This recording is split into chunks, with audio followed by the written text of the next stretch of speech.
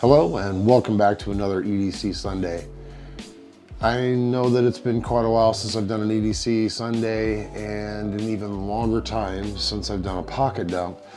So today we're going to do that. So why don't you grab your favorite beverage and sit back and enjoy as I tell you what my new 2024 carry is going to be and hopefully you'll enjoy it. Or maybe get some ideas, or even maybe later on give me some ideas on what maybe I should or shouldn't carry. Now, whether you're new or old to EDC, I think all of you could appreciate a little bit more intent, intent on what I'm going to be carrying in 2024. I'm trying to make this just as minimal as possible and cut it down to just the very few things that I need and or like to carry. And this list will differ within it uh, depending on whether it's something that I'm doing for my full-time job, whether we're going out, or whether I'm just staying home. And I will let you know what the differences are between those as we go through each and every one of them. So first and foremost, is my phone.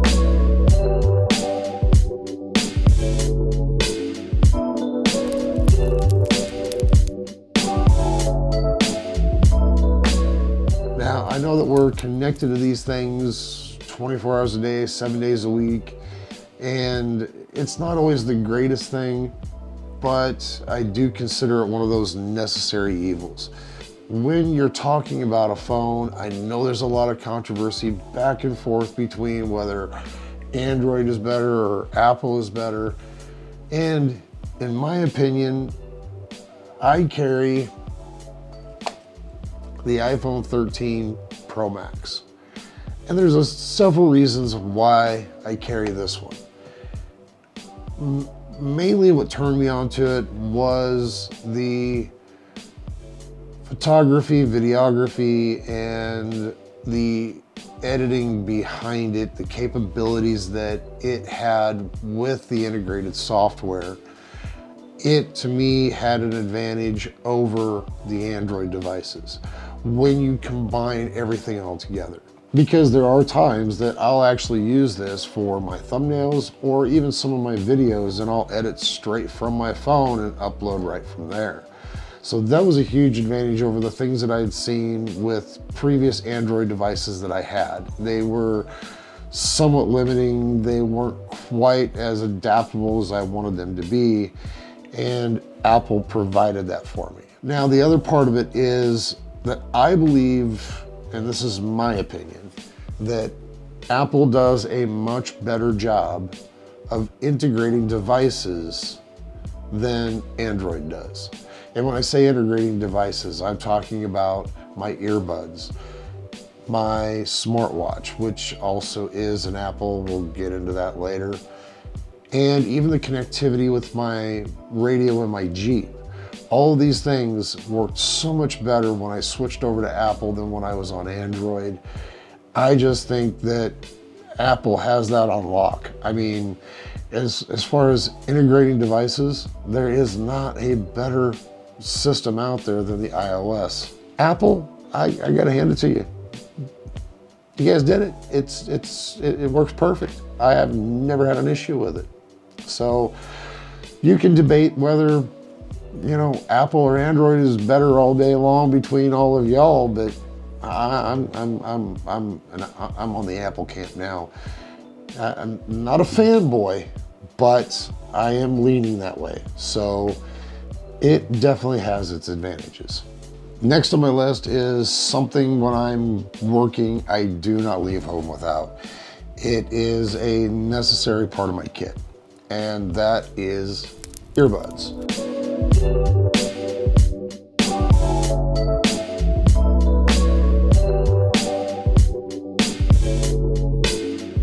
And the earbuds I like are the Skullcandy Indie ANCs. Now there's several reasons why I like these. Uh, mainly the, the amount of features you get with the Skullcandies and their overall price. These are about $80. And to me, that's already a plus in Skullcandies camp because that's about two thirds the price or a third the price of what a, a pair of AirPods would be. Plus, the sound quality is, to me, to my ears, is amazing. They also, when I use these at work, I'll use one at a time, right to left and back and forth. And I will get upwards of 11 hours off of these.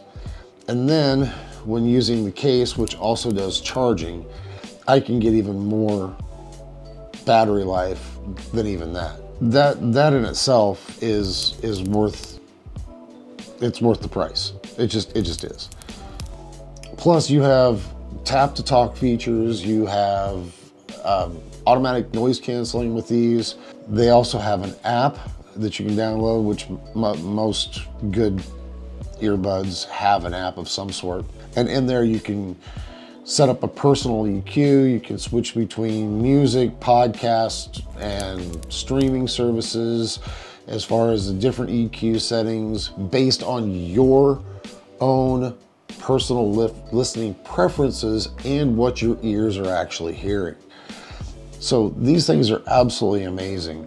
I, I I know that there's a newer version of these, which are called the Rail, and eventually I'll probably upgrade to those, but I won't do it until these actually die. And I've had these for at least two years with absolutely no is issue. Check down in my descriptions. I have an affiliate link for these, so that will help you if you want to get a little bit of a discount and, you know, help support the channel so I can keep doing this kind of shit for you. So, but definitely check these out. I think they're more than worth the squeeze. I mean, just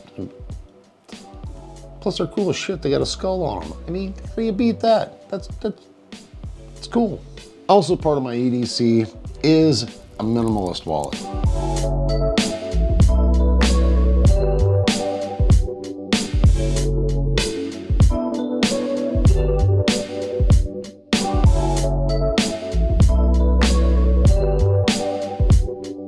Actually I, I get two of them because I liked the one so much I bought a second one. It just seemed right. I mean, when I found these on Amazon, they're about $12 and they're real leather and they're about as simple, minimalistic of a wallet that you can get. Plus they're made in the USA. They are the hide and drink minimalist wallet. And it's just one piece of leather that wraps around with two rivets that hold it together. These wallets will hold, oh, I think I got maybe four or five, maybe six cards in here and a little bit of cash. It, it stretches and to fit, so everything is held in there nice and tight. Plus, they patina so nicely. I mean, this one is the one I carry every day, regardless of work or not. And this is what it looked like when it started out. So it's gotten nice and dark. The, the oil for my hands has got in there and really patinaed it nicely so that it, it's nice and worn and really soft. It's, it's, it's just an excellent wallet. I love the way it looks and it's got everything that I want and nothing that I don't need. So this is absolutely perfect for about 12 bucks on Amazon. I picked up a couple. The other is for my business cards for when I'm at work. I mean, why not? You know, it, it still works. I probably got 50 cards in here. Uh, maybe, maybe 25. It works for both. So this is definitely something to look into. I've tried others, uh, other minimalist wallets. Some of them are similar to the Ridge wallets that you see everybody that's in love with those. But I wanted something more, even more simple than that. And at the cost, you just, you just can't go wrong with something like that. So hide and drink, look it up. Now to keep that man maintained, I carry with me a wooden comb.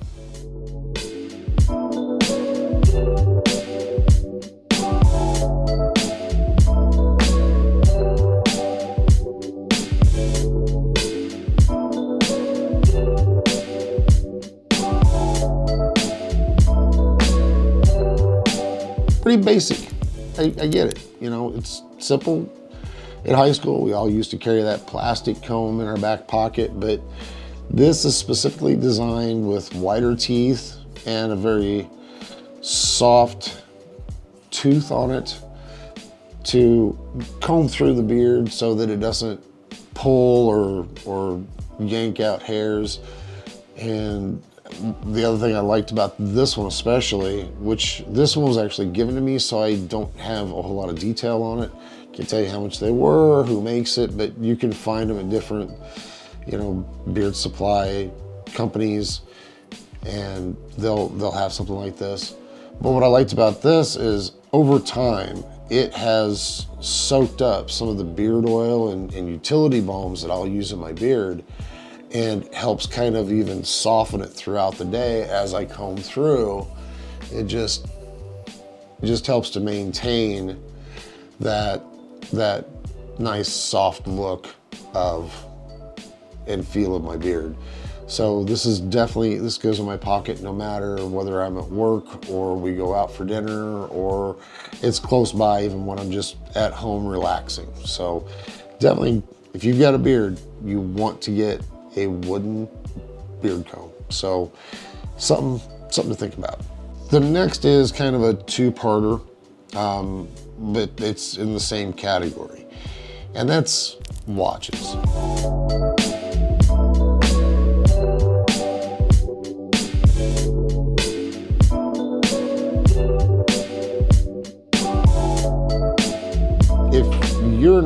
Carrying some sort of a watch with you or wearing some sort of a watch, what are you doing? I mean, yeah, you get it on your phone, but it's a whole lot easier to check your wrist than where's my phone at, all that kind of stuff.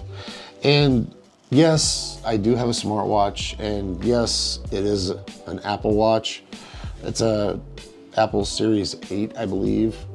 And I, I wear this one for work purposes. That way I can answer a text or answer a call through it if I need be, if I need to. Um, I can also check emails, updates, things like that a lot quicker and faster using the Apple Watch that I can than trying to dig for it in my pocket, figure that out, and it, it just it just works out a lot better that way.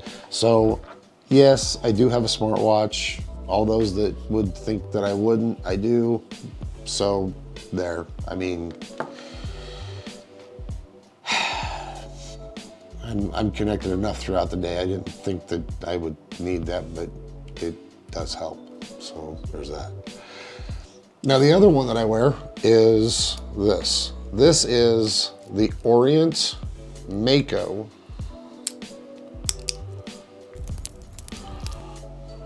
with an orange dial. And this watch is, even though I've got several, this is probably the, my favorite in my collection. Uh, it's nice and sturdy. It's got a nice feel and weight to it. This is a true automatic. So it doesn't require batteries, it, I mean, it's, it's actually a Seiko movement inside. Orient is kind of a, a subdivision of Seiko, even though they are their own company, but there's, look it up, you'll, you'll see what I'm getting at. But this one has a day date display and how do you beat that? Thing's got an orange face, man. That's just cool. And this was around 150 bucks. So for a true automatic at 150 bucks, Orient is really, really hard to beat when it comes to their style, quality, and value. And I am a huge fan. Uh, my next watch is probably going to be another Orient probably maybe a different style, at the very least, different dial face color, but yeah, they're, they're really hard to beat. So check into Orient, get yourself a wristwatch and, you know, add a little style and class to your look. I just think that a, a quote unquote real watch says a little bit more about the person who wears it. They they care a little bit more. They don't feel like they need to be as connected to social media. And I, I understand the irony or maybe the hypocrisy of me telling you that you don't need to be connected on social media when I'm telling you on social media. I, I, ironic, isn't it? But you know, hey.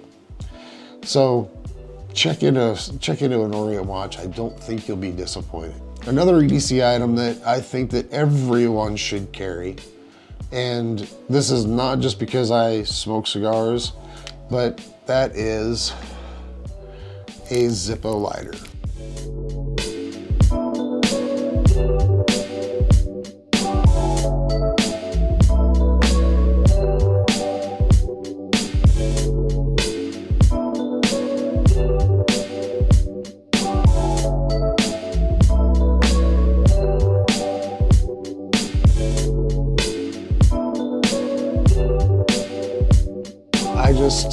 Love a Zippo um, because the, the, the cheap plastic ones, they'll, they'll, they'll let you down. They'll, they'll run out, they'll break, they'll jam. There's all kinds of failure points in them. And yeah, I get it, they're cheap. I do have some, but they're not my go-to. These are my go-to. I have a couple of them. One is just a regular Zippo. This one actually um, is, I had bought for cigar. It's dead right now, but I need to fill it. There's a lot of different versions of them. I just buy the simple standard version of them and they're reliable. I, have never had one fail on me. They, they're, and they're good for everything.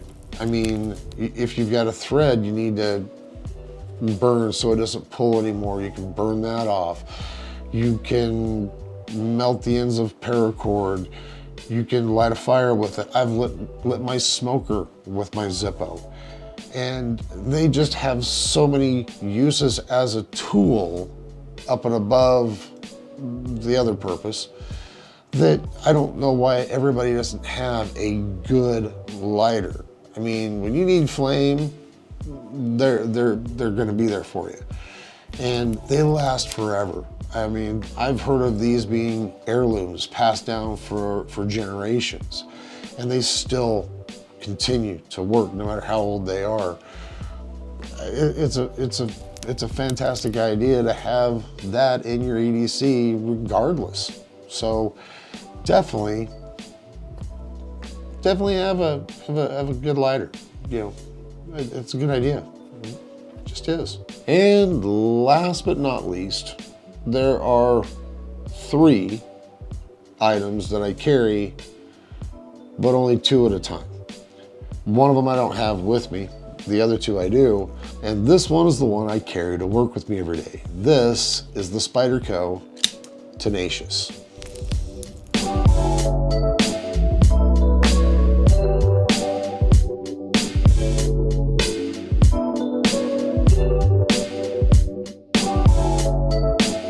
This knife is robust. It is an absolute workhorse. I was given this by my son several years ago and I take it to work with me. It has never failed me. It, it's easy to sharpen. It just does everything I want it to.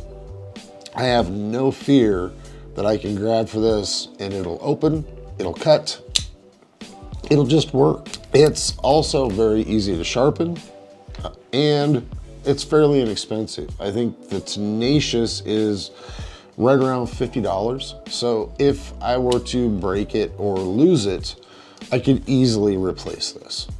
hopefully I never do lose it. That would upset me since it was a gift. But still, this is something that can be replaced for fairly inexpensive and it just it just works. You have to think about, you know, the, the, the overall value of what you're getting. And this is, has a huge, huge amount of value to me at least. But the other one, and this is the one I take to work with me. So this, this gets used and abused day in and day out. But the other one I take out when we go out to dinner, to the city, to go shopping, whatever, I will take the Kizer Mini Roach.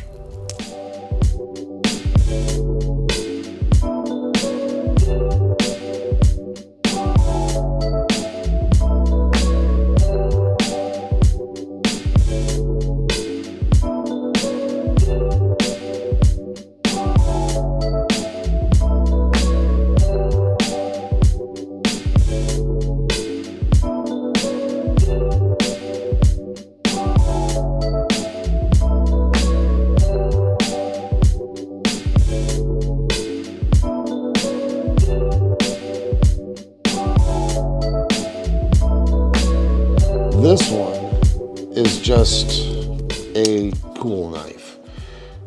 Uh, the between the black acid etched and patinaed drop point blade and the octagonal octagonally milled scales this thing is just cool to look at and the action on it is superb it has that huge fidget factor.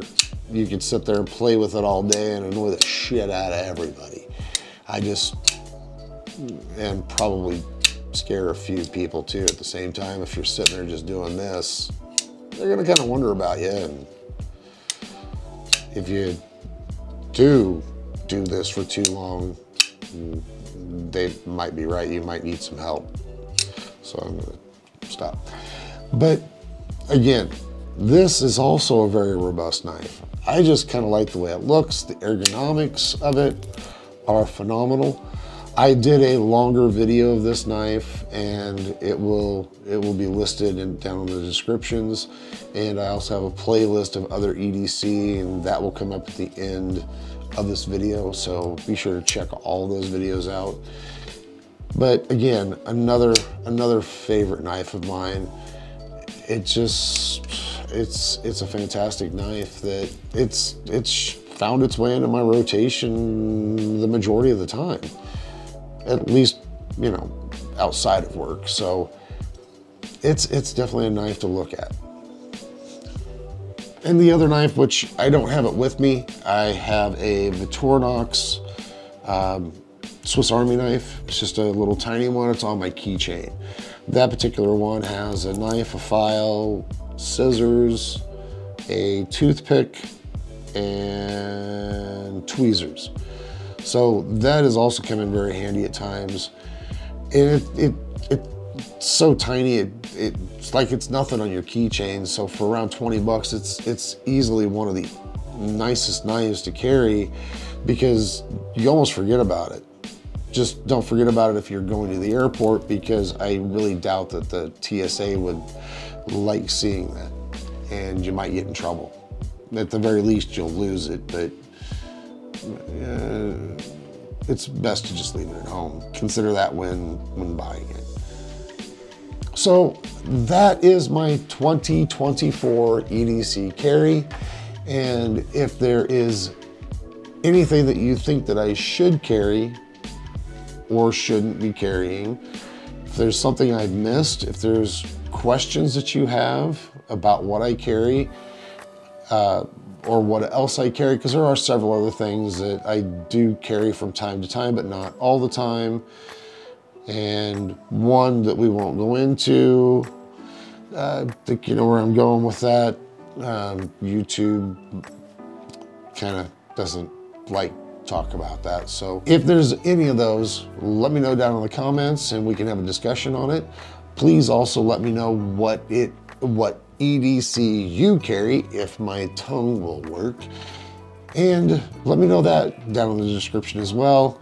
And that's something we can talk about and learn more about the things that other people carry. It's, I think it's, I think it's useful. We can all benefit from it. So again, I want to thank each and every one of you for joining me today. I hope you enjoyed this video.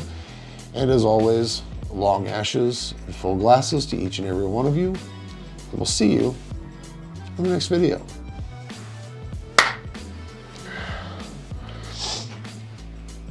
Yeah, that Kizer, man, that's, that was another gift. That, actually, my son bought me the Tenacious, he also bought me this one for Christmas a couple years ago.